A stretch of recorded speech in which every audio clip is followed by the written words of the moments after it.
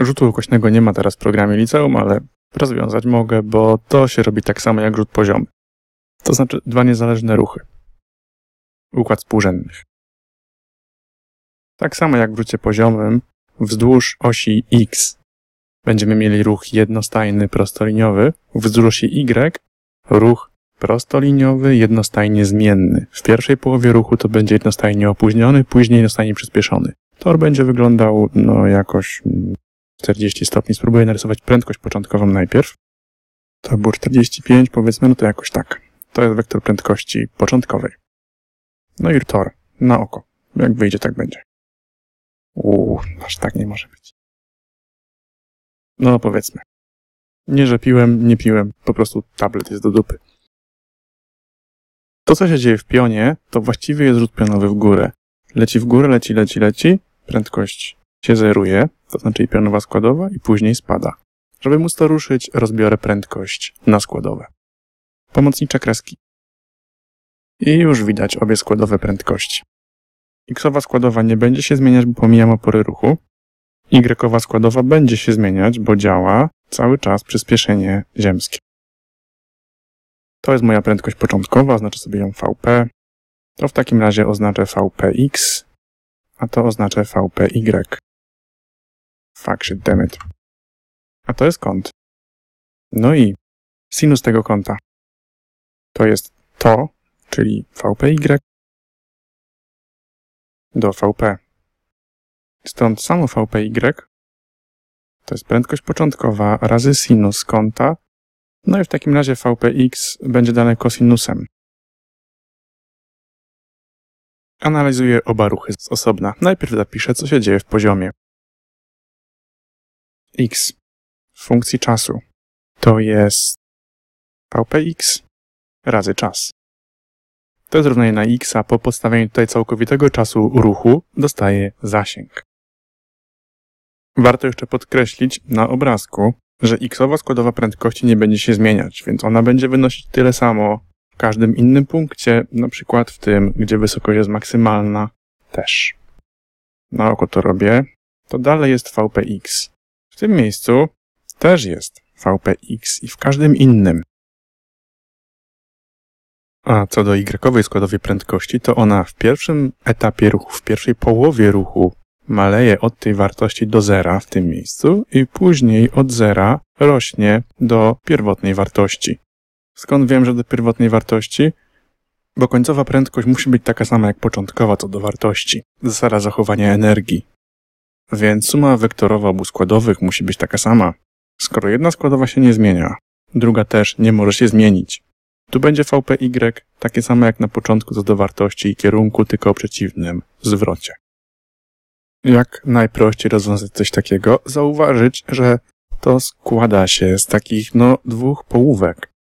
Od zera do maksymalnej wysokości, od maksymalnej wysokości do zerowej i te połówki trwają tyle samo czasu.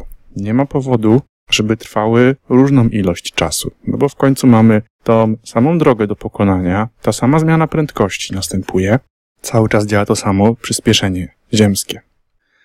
Jeszcze chciałbym powiedzieć, jak technicznie to rozwiązano, że wystrzelono pocisk z poziomu ziemi. Otóż wkopano działo pod ziemię. Tak to się rozwiązuje.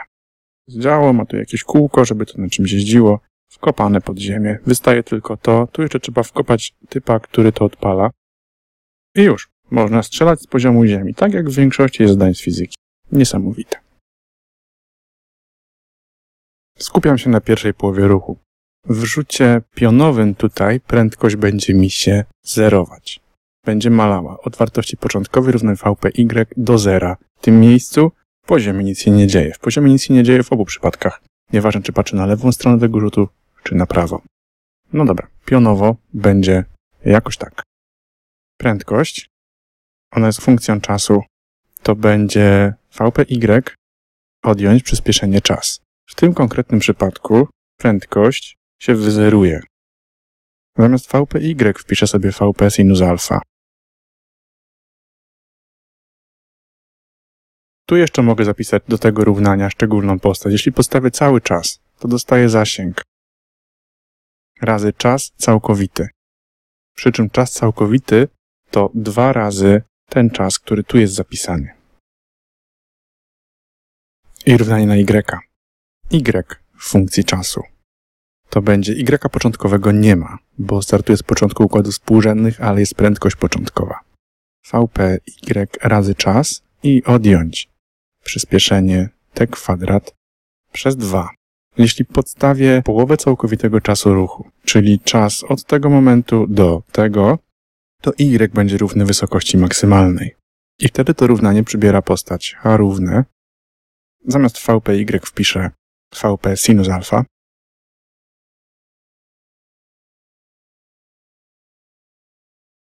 Dwóch równań. To powinno dać się zrobić. Dobra, ogarnąłem ten problem fizycznie, rozumiem, co tu się z punktu widzenia kinematyki dzieje, teraz powinienem już móc to rozwiązać. I to równanie wygląda na dobry początek, bo ma jedną niewiadomą i to jest czas.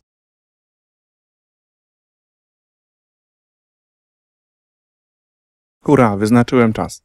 Jak komuś chce się podstawiać, to może, ale po co?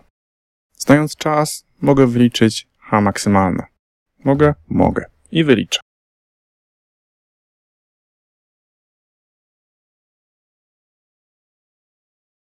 Odjąć g drugich razy t kwadrat. Czyli to do kwadratu.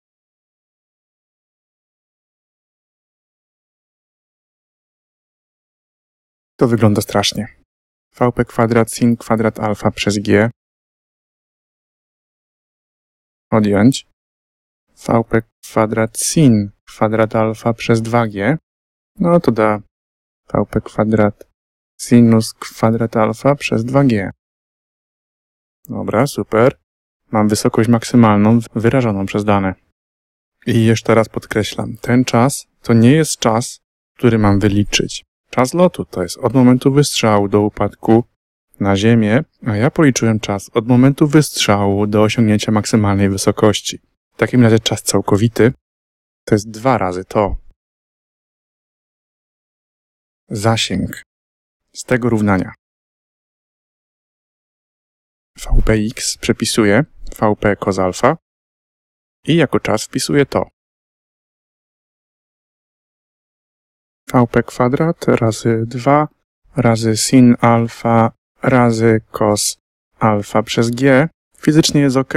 Matematyk by zauważył, że to jest chyba sinus 2 alfa. Teraz będzie mały quiz, zadanie w zadaniu.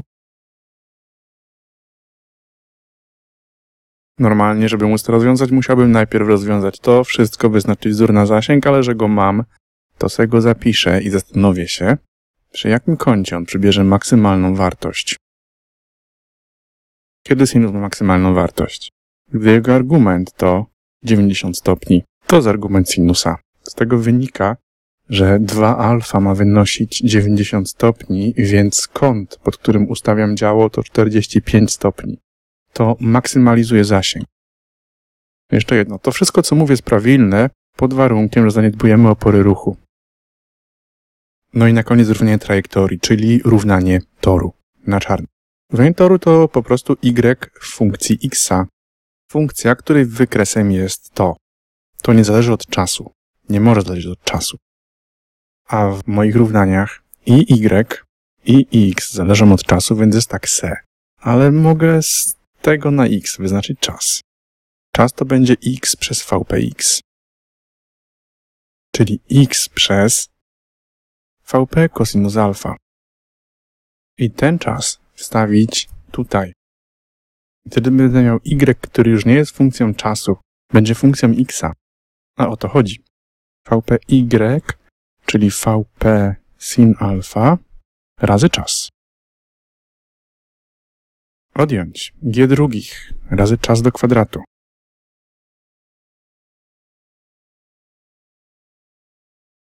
To się skróci.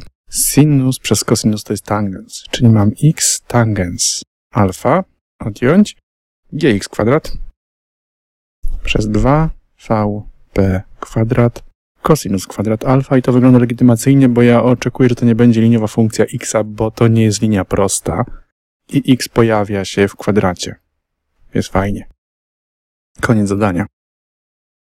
Nie chce mi się wklepywać do kalkulatora, więc powklepujcie i wpiszcie wyniki w komentarzach.